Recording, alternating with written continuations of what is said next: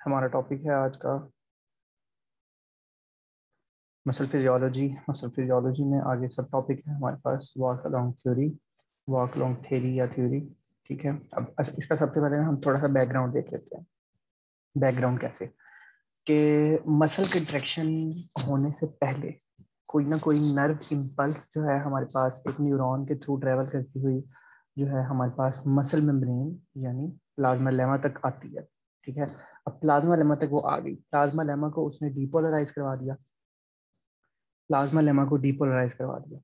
Plasma lemma जब depolarise होती है तो हम सबको पता है कि जो है हमारे पास sarcoplasmic reticulum sarco sarcoplasmic reticulum के अंदर से कैल्शियम आयंस रिलीज़ होते हैं, बाहर निकलना स्टार्ट हो जाते हैं सार्कोप्लाज्म के अंदर। That is the cytoplasm of muscle cell muscle spindle जब कैल्शियम आयंस उसके अंदर आएँगे तो फिर वो कैल्शियम आयंस जो है हमारे पास ट्रोपोनिन की सी साइड के ऊपर जाके अटैच होते हैं। जब सी साइड के ऊपर जाके ट्रोपोनिन की अटैच होंगे तो वो ट्रोपोमायोसिन जो है हमारे पास एक्टिन के ऊपर से उतर जाएगी। एक्टिन के ऊपर से उतर गई एक्टिन को उसने एक्सपोज करवा दिया। और ये जो एक्टिन एक्सपोज एक्टिन है, इसी को हम बोलते हैं एक्टिवेटेड एक्टिन फिलामेंट क्योंकि अब वो जो है मसल कंट्रेक्शन के लिए फुली रेडी है और वो मायोसिन हेड का इंतज़ार कर रही है। अब मायोसिन फिलामेंट हम डायग्राम देखते हैं जरा। ये देखें। ये एक्टिन फिलामेंट पड़ी हुई है हमारे पास, ठीक है?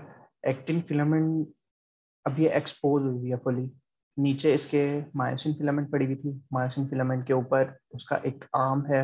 आर्म के बाद उसका एक हेड है। ये जो हेड है, ये इनिशियली जो है वो एक्सटेंडेड पोजीशन के अंदर परपेंडिकुलर पोजीशन के अंदर होता है toward the active site of the actin filament ठीक है? अब जैसे ही एक्टिन फिलामेंट हुई एक्सपोज यानी कैल्शियम आयन आके ट्रोपोनिन के साथ लगा ट्रोपोमायोसिन अनवाइंड हुई एक्सपोज कर दिया एक्टिन को एक्टिव साइट्स जो हैं, ये ये देखिए, ये ब्लैक डॉट्स जो हैं, ये हैं these are suppose to be the active sites ये एक्सपोज हुई, जो मायोसिन का हेड है, ये इनकी तरफ़ अट्रैक्ट होगा और इनके साथ जाके अटैच हो जाएगा।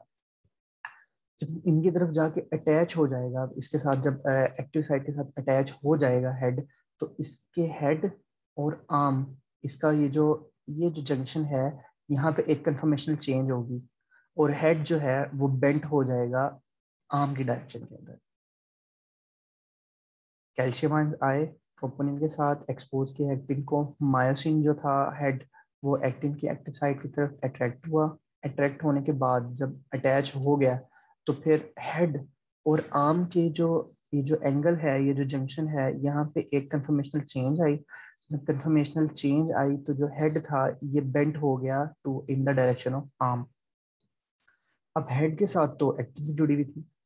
तो वो जो एक्टिंग थी, ये भी इस हेड के साथ, इस लेफ़्ट डायरेक्शन के अंदर मूव करना स्टार्ट हो गया। ठीक है? तो हेड जो था, पहले परपेंडिकुलर पोजीशन के अंदर था। अटैच हुआ कन्फर्मेशनल चेंज आई। बेंट हुआ बेंट होने के साथ ही एक्टिन को भी अपने साथ ले ठीक है? Head attaches to active site conformational change head जो था टिल्ट्स टुवर्ड द आर्म ये जो इसकी टिल्टिंग है आर्म की तरफ़, इसी को हम बोलते हैं पावर स्ट्रोक पावर स्ट्रोक इस पावर स्ट्रोक के अंदर, ये जो हेड जो है आर्म की तरफ़ टिल्ट हुआ है, इसने एक्टिंग को भी, वो जो इसके साथ अटैच हुई है, उसको आर्म की तरफ़ खींच लिया। अब जब आर्म की तरफ़ खींचेगा, ठीक है तो फॉर एग्जांपल ये इसकी ये लेफ़्ट ये जो इन दोनों में ये जो लेफ़्ट वाली पोजीशन है टिल्टेड पोजीशन है इसको इन्होंने दोबारा यहाँ पे शो करवाया हुआ है कि this is a tilted position of myosin head जब ये इस डायरेक्शन अंदर मूव हो गया पावर स्ट्रोक हो गया एक्टिंग फिलामेंट मूव हो गया अब ये ऑटोमेटिकली ब्रेक होगा। एक्चुअली ऑटोमेटिकली ब्रेक नहीं होता इसके साथ आके ना यहाँ पे एक एटीपी लगता है। Uh, मैं आपको uh, नीचे एक स्लाइड में दिखाता हूँ। ये देखें। जब ये बेंट हो गया था तो इसके ऊपर आके ना एक एटीपी लगा था, ठीक है? इस एटीपी ने क्या करवाया? इसकी डिटैचमेंट करवाई है एक्टिन के साथ। अब जब डिटैचमेंट हो गई है, अब अगली कहानी क्या होगी? हेड जो है, वो दोबारा एक्सटेंड होगा और अपनी दोबारा परपेंडिकुलर पोजीशन के अंदर चला जाएगा। दोबारा परपेंडिकुलर पोजीशन अब दोबारा से एक नई एक्टिव साइट दोबारा से एक नया पावर स्ट्रोक और दोबारा से further movement of actin toward the arms of the myosin filament और ये मायोसिन फिलामेंट है। अब जैसे ये एक एक्टिन फिलामेंट है, ठीक है? तो एक इस साइड पे भी एक्टिन फिलामेंट होगी जो राइट वर्ड डायरेक्शन के अंदर मूव कर रही होगी। तो इस वे में जो है हमारे पास कंट्रैक्शन मसल कंट्रैक्शन के अंदर ये जो वॉक लॉन्ग थियरी है या स्लाइड लॉन्ग थियरी है, इसके अंदर जो है हमारे पास दोनों एक्टिन फिलामेंट्स वो एक दूसरे के तरफ़ मूव करती हैं towards each other myosin filament के ऊपर। ठीक है? ये तो थी हमारे पास वॉक लॉन्ग थियरी इसके अंदर एटीपी का क्या रोल है? हमने एटीपी का रोल देखना है क्योंकि हमने हमेशा से पढ़ा है कि मसल को एनर्जी चाहिए होती है मसल कंट्रैक्शन के लिए। तो मसल कंट्रैक्शन के अंदर आखिर वो कौन सा स्टेप होता है जहाँ पे एटीपी चाहिए होती है, वो हम नेक्स्ट स्लाइड में देखते हैं। Role of ATP in muscle contraction इसी को हम फ़ैन इफ़ेक्ट भी बोलते हैं।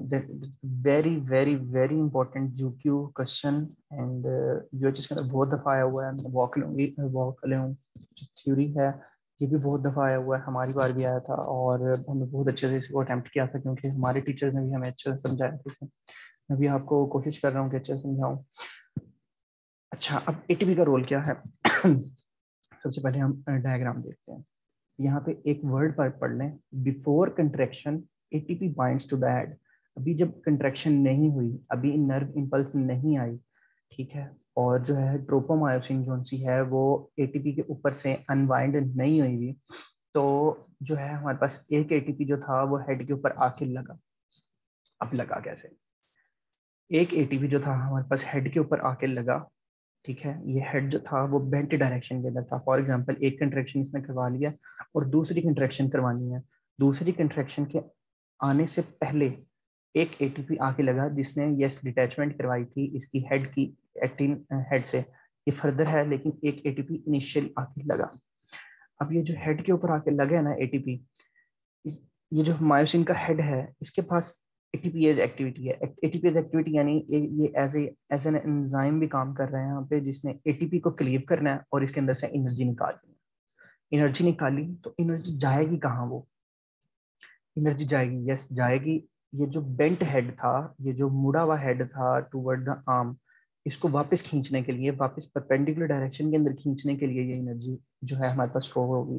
जैसे देखा है ना, कभी हम स्प्रिंग को खींचते हैं, ठीक है? स्प्रिंग को खींचने के अंदर हम एनर्जी लगाते हैं तो जब हमने एनर्जी लगा ली है तो फिर वो स्प्रिंग जो है वापस अपनी इनिशियल डायरेक्शन जब हम छोड़ते हैं तो वो जो स्प्रिंग है वो इनिशियल कंडीशन के अंदर चला जाता है।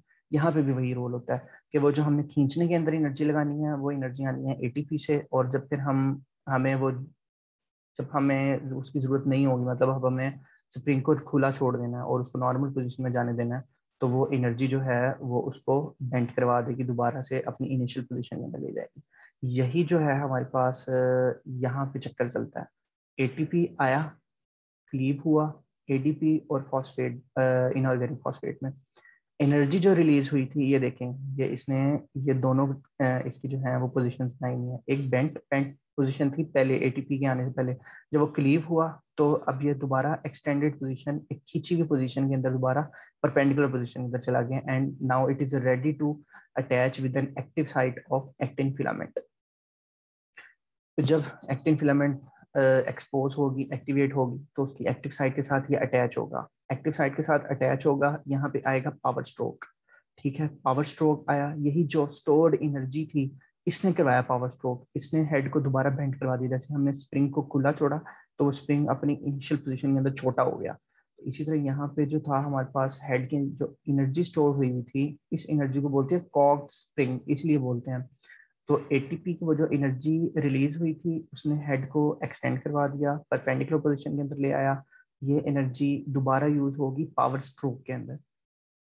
जब हेड अटैच हो गया एक्टिव फिलामेंट के साथ तो ये लेफ़्ट डायरेक्शन के अंदर मूव करेगा, यानी टूवर्ड द आर्म मूव करेगा। तो जब ये ऐसे टूवर्ड द आर्म मूव करेगा, वो जो मूवमेंट की एनर्जी है, वो कॉक स्प्रिंग की ऑलरेडी स्टोर्ड एनर्जी यूज़ होगी वहाँ पे। ठीक है? इसी को बोलते हैं फ़ैन इफ़ेक्ट तो जब ये जो है हमारे पास ऐसे बेंट हो गया हेड तो यहाँ पे एक नया मॉलिक्यूल ऑफ़ एटीपी आके अटैच होगा। एक नया मॉलिक्यूल ऑफ़ एटीपी जब अटैच हुआ, उसके बाद जो मतलब एटीपी था और इनिशियल जो इनऑर्गेनिक फॉस्फेट था, वो उतर गए। उनकी जगह पे आके एटीपी लग गया। इस एटीपी ने दोबारा डिटैचमेंट करवा दी किसकी?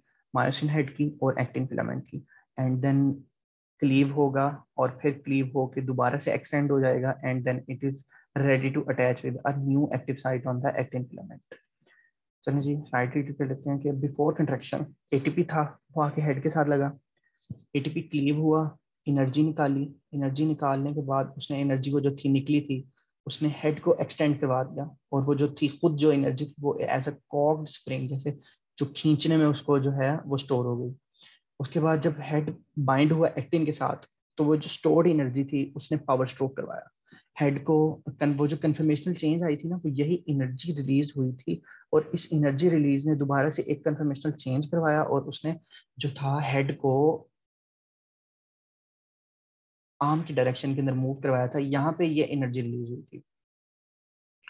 ठीक है? उसके बाद जो थी, अब बेंट हुआ हुआ है हेड उसने मूव भी करवा दिया एक्टिन फिलामेंट को। उसके ऊपर वो जो एटीपी की क्लीवेज प्रोडक्ट्स थी एडीपी और इनऑर्गेनिक फॉस्फेट उनको वो दोबारा, वो उतर जाएँगी, खुद ब खुद उतर जाएँगी और एक न्यू मालिक्यूल ऑफ़ जो है एटीपी वो आके हेड के साथ लग जाएगा। सबसे पहला काम ये करवाएगा कि ये हेड की डिटैचमेंट करवाएगा एक्टिन के साथ। एक्टिन से जो है ये डिटैचमेंट करवाएगा। उसके बाद इसका दूसरा काम क्या है कि ये क्लीव होके जो इसकी एनर्जी स्टोर जो रिलीज़ होगी, वो स्टोर हो जाएगी एज अ कॉक्ड स्प्रिंग ठीक है? और नोट यहाँ पे ये है कि वो जो एटीपी क्लीव हुआ है, वो खुद ही क्लीव नहीं हो जाता। मायोसिन का जो हेड है, वो एज एन एंजाइम भी जो है हमारे पास काम करता है और एटीपी को क्लीव करके वो एनर्जी जो है हमारे पास कॉक स्प्रिंग के फॉर्म में स्टोर कर लेता है। Thank you very much any query please ask